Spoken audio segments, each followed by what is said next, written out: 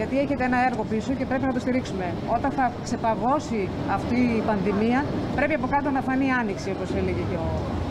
ε, Κύριε ο- Πρόεδρε, εμείς Έτσι, θέλουμε να πούμε Όχι να ότι- φανεί η καταστροφή του Κικίλια. Ο Ο οποίος είναι εμβολιασμός εκεί και δεν δέχεται ούτε δεν καν αυτό. αποτελεί πανάκια. Είναι μεν ένα όπλο γενικότερα, αλλά για να γίνει χρειάζεται ενίσχυση του ΕΣΥ, κυρίως ενίσχυση τη πρωτοβάθμιας φροντίδας υγείας και περίθαλψης, η οποία δεν υπάρχει ουσιαστικά ούτε τώρα ούτε την προηγούμενη περίοδο. Μακάρι και να υπήρχαν και αρκετά εμβόλια ώστε γρήγορα να εμβολιαστεί ο κόσμος. Δυστυχώς.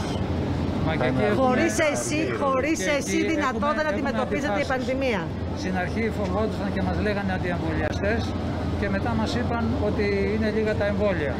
Δηλαδή σαν να λέει η κυβέρνηση ευτυχώς που υπάρχουν αντιεμβολιαστές, σαν να υπο, υποκινεί ένα τέτοιο Και ευτυχώς που δεν παραγγείλαμε αρκετά. Δηλαδή μας ρίχνει το Επομένως, παλάκι. είναι πολλαπλό το θέμα ακόμα και στα εμβόλια, όχι μόνο στα υπόλοιπα ζητήματα.